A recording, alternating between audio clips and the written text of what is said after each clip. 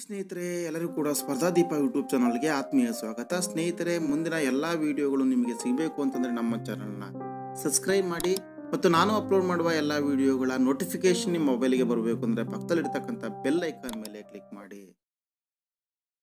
ಸ್ನೇಹಿತರೆ, welcome to Spardha Deepa job news YouTube channel. ವೀಕ್ಷಕರೇ, ಒಂದು ಕರ್ನಾಟಕ ಸರ್ಕಾರದಿಂದ ಫ್ರೆಶ್ ಜಾಬ್ ನ್ಯೂಸ್ ಹೊರಬಿದ್ದಿದೆ. ಅದು ನಾಲ್ಕರಿಂದ ಒಂಬತ್ತನೇ ತರಗತಿಯನ್ನು ಹೊಂದಿರತಕ್ಕಂಥವ್ರು, ಜೊತೆಗೆ ಹತ್ತನೇ ತರಗತಿಯನ್ನು ಉತ್ತೀರ್ಣರಾಗಿರ್ತಕ್ಕಂಥವ್ರು, ಈ ಒಂದು ಹುದ್ದೆಗಳಿಗೆ ಅರ್ಜಿಯನ್ನು ಸಲ್ಲಿಸಬಹುದಾಗಿರುತ್ತೆ. ಅದರ ಒಂದು ಸಂಪೂರ್ಣ ವಿವರಣೆಯನ್ನು ಕೊಡ್ತೀನಿ. ಈ ವಿಡಿಯೋವನ್ನು ಸ್ಕಿಪ್ ಮಾಡದೆ ಪೂರ್ತಿಯಾಗಿ ನೋಡಿ. ಸ್ನೇಹಿತರೆ, ಈ ಹುದ್ದೆಗಳು ಕರ್ನಾಟಕ ಸರ್ಕಾರದ ಮಹಿಳಾ ಮತ್ತು ಮಕ್ಕಳ ಅಭಿವೃದ್ಧಿ ಇಲಾಖೆಯಲ್ಲಿ ಖಾಲಿ ಇರುವಂತಹ ಅಂಗನವಾಡಿ ಕಾರ್ಯಕರ್ತೆ ಮತ್ತು ಅಥವಾ ಸಹಾಯಕಿಯರ ನೇಮಕಾತಿ ಪ್ರಕ್ರಿಯೆಗೋಸ್ಕರ ಆನ್ಲೈನ್ ಮೂಲಕ ಅರ್ಜಿಯನ್ನು ಆಹ್ವಾನಿಸಲಾಗಿರುತ್ತೆ. ಆನ್ಲೈನ್ ಅರ್ಜಿಯನ್ನು ಸಲ್ಲಿಸಲು ಪ್ರಾರಂಭದ ದಿನಾಂಕ ಇಪ್ಪತ್ತು ಒಂಬತ್ತು ಎರಡು ಸಾವಿರದ ಹತ್ತೊಂಬತ್ತರಿಂದ ಆರಂಭ ಆಗುತ್ತೆ. ಕೊನೆಯ ದಿನಾಂಕ ಹತ್ತೊಂಬತ್ತು ಹತ್ತು ಎರಡು ಸಾವಿರದ ಹತ್ತೊಂಬತ್ತರ ಸಂಜೆ ಐದು ಗಂಟೆ ಮೂವತ್ತು ನಿಮಿಷದವರೆಗೆ ಈ ಒಂದು ಆನ್ಲೈನ್ ಅರ್ಜಿಯನ್ನು ಸಲ್ಲಿಸಬಹುದು.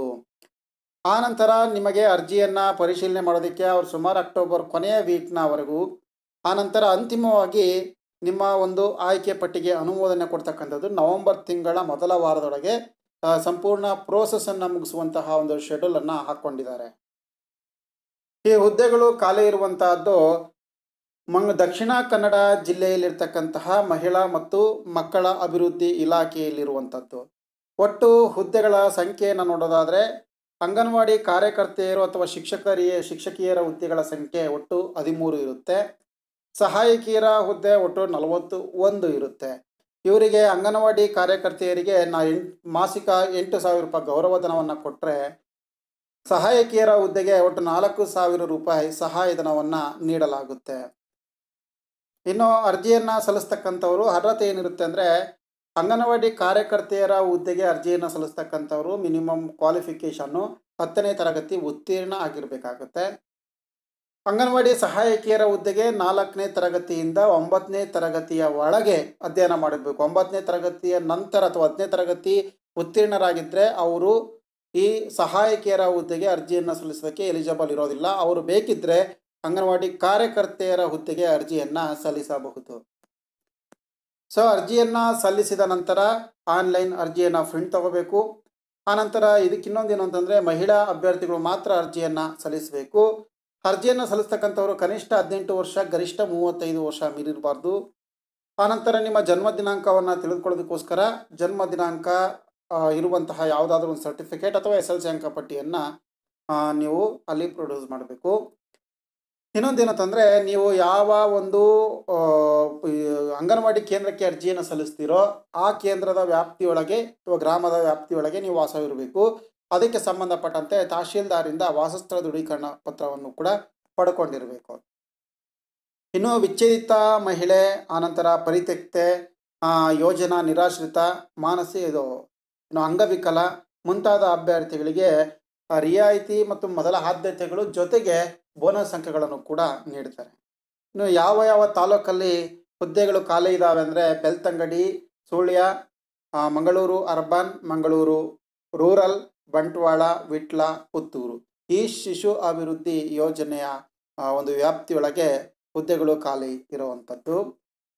ಸೊ, ಅಂಗನವಾಡಿ ಸ, ಕಾರ್ಯಕರ್ತೆಯರ ಒಂದು ವೇಕೆನ್ಸಿ ಲಿಸ್ಟ್ ಇಲ್ಲಿರ್ತಕ್ಕಂಥದ್ದು ನೀವು ನೋಡ್ಬೋದು. ಯಾವ ಯಾವ ತಾಲೂಕಿನ ವ್ಯಾಪ್ತಿಯೊಳಗೆ ಯಾವ ಗ್ರಾಮದ ವ್ಯಾಪ್ತಿಯೊಳಗೆ ಖಾಲಿ ಇದೆ ಅಂತಕ್ಕಂಥದ್ದು ನೋಡ್ಬೋದು. ಇದು ನೇರವಾಗಿ ಅಂಗನವಾಡಿ ಕೇಂದ್ರದ ಹೆಸರು ಇರುತ್ತೆ ಇದು ಅಂಗನವಾಡಿ ಸಾರಿ ಗ್ರಾಮ ಪಂಚಾಯಿತಿ ಅಥವಾ ವಾರ್ಡ್ ನಂಬರ್ ಇರುತ್ತೆ. ಆ ಒಂದು ಒಂದು ಕೇಂದ್ರಕ್ಕೆ ಯಾವ ಒಂದು ಕೆಟಗರಿಯಲ್ಲಿ ರಿಸರ್ವೇಷನ್ ಅಂತಲೂ ಕೂಡ ಇದೆ. ಸೊ, ಅದನ್ನು ನೋಡ್ಬೋದು. ನೀವು ಅರ್ಜಿಯನ್ನು ಸಲ್ಲಿಸ್ತಕ್ಕಂಥವ್ರು ಈ ಎರಡರ ವ್ಯಾಪ್ತಿಯ ಒಳಗೆ ವಾಸ ಮಾಡ್ತಾ ಇರಬೇಕು ಅಂತಕ್ಕಂಥದ್ದಿದೆ ಇದು. ಅಂಗನವಾಡಿ ಸಹಾಯಕಿಯರ ಒಂದು ವೇಕೆನ್ಸಿ ಲಿಸ್ಟ್ ಇರುತ್ತೆ. ಸೊ, ನೋಡ್ಕೋಬೋದು ನೀವು. ಎಲ್ಲ ತಾಲೂಕುಗಳಲ್ಲೂ ಕೂಡ, ಆ, ಒಂದು ಹುದ್ದೆಗಳ ವೇಕೆನ್ಸಿ ಲಿಸ್ಟನ್ನು ಬಿಟ್ಟಿದ್ದಾರೆ. ಕೇವಲ ಮಂಗಳೂರು ಅಭ್ಯರ್ಥಿಗಳು ಮಾತ್ರ ಈ ಒಂದು ಅರ್ಜಿಯನ್ನು ಸಲ್ಲಿಸಬಹುದು. ಮತ್ತು ಆ ಗ್ರಾಮದ ವ್ಯಾಪ್ತಿಯೊಳಗೆ ನೀವು ವಾಸ ಮಾಡಿರಬೇಕು ಕೂಡ. ಇದೊಂದು ಮಾಹಿತಿ, ಒಂದು ನಿಮಗೆ ಹೆಚ್ಚಿನ ಮಾಹಿತಿ ಬೇಕು ಅಂದರೆ ಇಲ್ಲಿ ಸಂಪರ್ಕ ಒಂದು ಡೀಟೇಲ್ಸನ್ನು ಕೊಟ್ಟಿದ್ದಾರೆ. ಸೊ ನೀವು ಆ ಒಂದು I C D S project ಈಗ ಕಾಂಟ್ಯಾಕ್ಟ್ ನಂಬರ್ ಇದೆ. ಕಾಂಟ್ಯಾಕ್ಟ್ ನಂಬರಿಗೆ ಕಾಲ್ ಮಾಡ್ಬೋದು. ಹೆಚ್ಚಿನ ಮಾಹಿತಿಯನ್ನು ಪಡೆಯಬಹುದು. ಜೊತೆಗೆ ನೀವು ಆನ್ಲೈನ್ ಮೂಲಕ ಅರ್ಜಿಯನ್ನು ಸಲ್ಲಿಸಲೇಬೇಕಾಗುತ್ತೆ. ಆನ್ಲೈನ್ ಅರ್ಜಿಯನ್ನು ಸಲ್ಲಿಸದೇ ಇರ್ತಕ್ಕಂಥವ್ರು ನೇರವಾಗಿ ಆಫ್ಲೈನ್ ಮೂಲಕ ಆ ಒಂದು ಐ ಸಿ ಡಿ ಎಸ್ ವಿಭಾಗಕ್ಕೆ ಹೋಗಿ ತಲುಪಿಸಿದರೆ ಅದು ವ್ಯಾಲಿಡ್ ಆಗೋದಿಲ್ಲ. ಸೊ, ಆನ್ಲೈನ್ ಅರ್ಜಿಯನ್ನು ಕಂಪಲ್ಸರಿಯಾಗಿ ಹಾಕಲೇಬೇಕಾಗುತ್ತೆ.